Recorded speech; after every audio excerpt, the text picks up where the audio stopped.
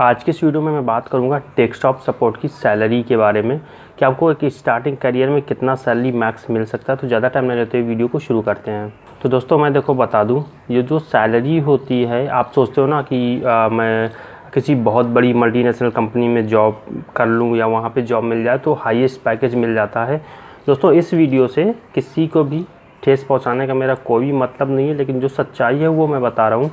तो दोस्त, अगर आप ये सोचते हो कि मल्टी नेशनल कंपनी में जॉब मिल जाएगी और डेस्कटॉप सपोर्ट की में आपको 25 तीस, चालीस हज़ार रुपये तक सैलरी मिल जाएगी तो आप ये बिल्कुल गलत सोचते हो। आपको स्टार्टिंग 15-16 मिल जाएगी। इवन कई मेरे साथ कैंडिडेट ऐसे हैं जो मेरे जूनियर हैं जिनकी सैलरी बारह हज़ार सी है पर मंथ तो ये डिपेंड करता है कि आप किस कंडीशन में जा रहे हो और वहाँ पे किस लेवल का काम होता है।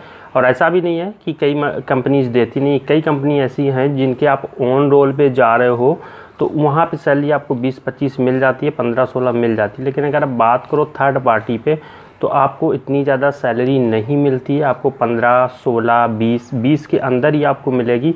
हो सकता है 12, 13 सी भी हो।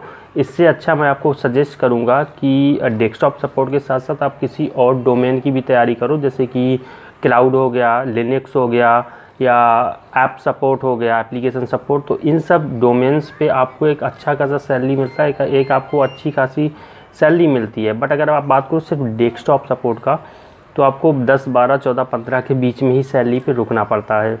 और ये मैं आपको बता रहा हूँ एक इनिशियल लेवल के लिए बट हाँ दोस्तों मैं ये ज़रूर कहूँगा कि जब आपके पास एक साल का एक्सपीरियंस हो जाता है आप कंपनी स्विच करो। कम से कम तीन कंपनी स्विच कर दो आप सिर्फ़ तीन साल में तो आपकी सैलरी तीस के आसपास या तीस के प्लस हो जाएगी दैट्स गारंटी अगर आप कंपनी स्विच कर रहे हो तो क्योंकि तीस परसेंट हाइक मिलता है आपको और कई बार होता है कि आपका लक अच्छा होता है तो कई कंपनीज़ आपको चालीस परसेंट और पचास परसेंट भी हाइक दे देती हैं आपकी करेंट सैलरी में.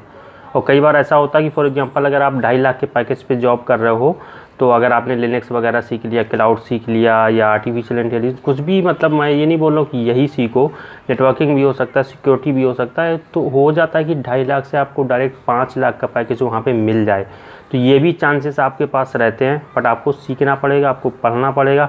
उसके बाद ही पॉसिबल है उस लेवल तक जाना और उस लेवल की सैलरी को पाना। तो मैं बात करूँ इसके फ्यूचर और करियर के बारे में तो फ्यूचर डेस्कटॉप सपोर्ट में इतना नहीं है।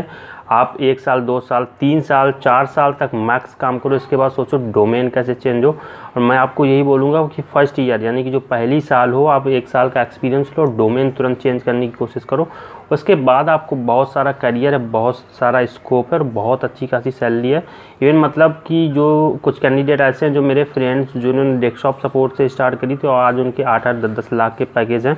और एक वो एक एमएनसी कंपनी में वो जॉब कर रहे हैं। तो ऐसा नहीं दोस्त किसी में पैसा नहीं है, पैसा है, बहुत है बट डिपेंड करता है कि आप कितना लर्न कर रहे हो, क्योंकि लर्निंग के साथ ही आपकी अर्निंग जुड़ी हुई है। पंद्रह से मिल रही है, बारह से मिल रही है, बीस से मिल रही है, कहीं भी मिल रही है, आप करो, अगर फ्रेशर हो तो फ्रेशर का टैग हटाओ। एक साल, दो साल तक प्रॉब्लम होगी, इसके बाद आप सारा कुछ सीख जाओगे। और उसके बाद आप जॉब आराम से कर सकते हो। बस यार दोस्तों, आज की वीडियो में इतना ही। वीडियो अगर अच्छा लगा तो लाइक शेयर एंड चैनल को सब्सक्राइब ज़रूर करिएगा। मेरा नाम है शुभम, मैं मिलता हूँ अपने नेक्स्ट वीडियो में। Till then have a great moment and don't forget to like share and subscribe thank you so much for coming year Jai Hind Jai Bharat and be safe